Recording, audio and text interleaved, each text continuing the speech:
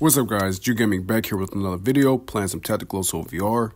Today's topic is about my class setup for CAG or Delta Force members. We're going to start this off by using the 416 and for sidearm the M9. For the attachments for the 416, we're going to use the Suppressor 2 and the Holo Sight with the 3 times magnifier. For the back utility, we're using the breaching shotgun. Any breaching charges, throwables, etc is your personal pick. You guys enjoy this video, like it up, and we just hit a milestone at 1,300 subscribers. I appreciate you guys.